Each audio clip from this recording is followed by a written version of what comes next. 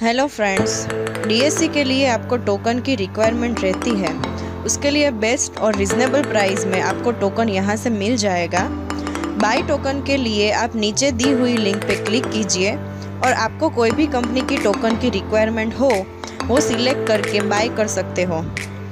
Example के तौर पे हम ई पास टोकन बाई कर रहे हैं।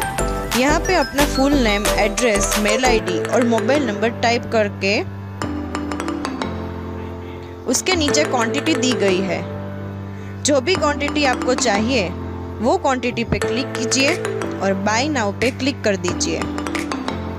और बाय कर लीजिए।